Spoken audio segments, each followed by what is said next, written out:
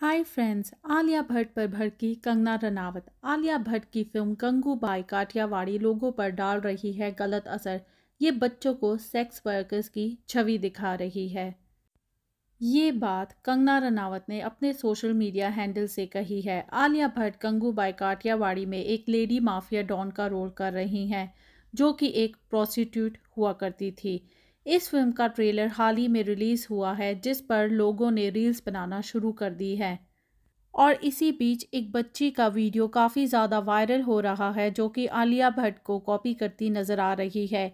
इस बच्ची की वीडियो इतनी पसंद की जा रही है कि बड़े बड़े मीडिया हाउसेस इसको शेयर कर रहे हैं।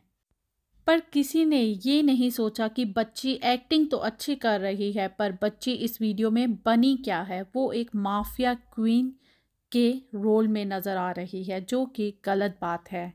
और इसी बात को पॉइंट आउट करते हुए कंगना ने आलिया के लिए एक बड़ी बात कह दी। कंगना ने बच्ची का स्क्रीनशॉट करके सोशल मीडिया पर लिखा, क्या इस बच्ची को ज़रूरत है एक सेक्स वर्कर को कॉपी करने की? मुँह में बीड़ी लेकर और गंदी, बद्धी शर्मनाथ डायलॉग बोलने की। इस बच्ची की बॉडी लैंग्वेज देखो। आपको क्या लगता है? इस उम्र में इस बच्ची को इस तरह का काम करना चाहिए? एक सेक्स वर्कर को कॉपी करना चाहिए? आगे कंगना रनावत ने लिखा कि इसी तरह सौ और बच्चे हैं जो इस तरह की रील्स सेक्स वर्कर पर बना रहे हैं। कंगना रनावत ने इस पोस्ट पर स्मृति ईरानी को भी टैग किया है। वेल दोस्तों, ये बात मानी जा सकती है। कि ये तो गलत है, पर बच्ची के माँ बाप ने भी गलत किया है। इस तरह के ट्रेलर बच्ची को नहीं दिखाने चाहिए। ट्रेलर शायद माँ बाप की गलती है कि उन्होंने दिखाया है। इस तरह का गेटअप माँ बाप ने ही बच्ची को बना कर दिया है।